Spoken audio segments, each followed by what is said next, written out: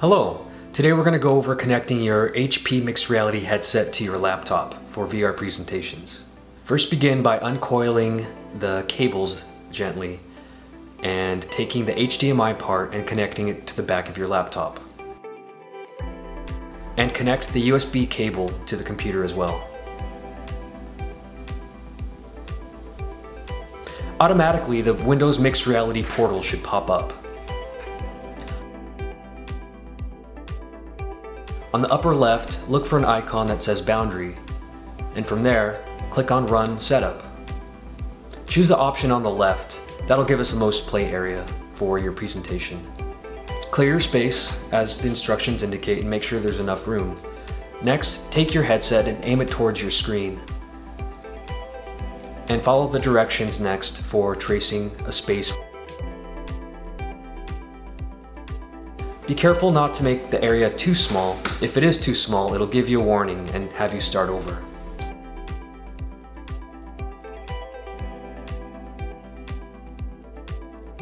Next, you're going to want to open Steam and go ahead and start in offline mode if it prompts you for it.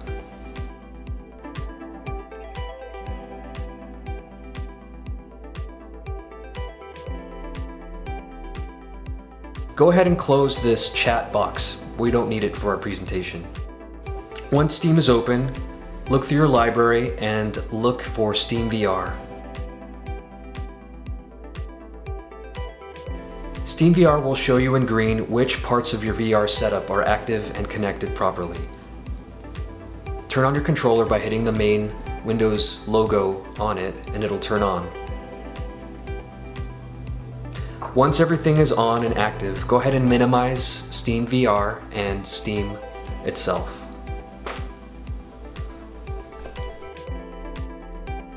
Finally, go to your desktop and double click the executable that's there.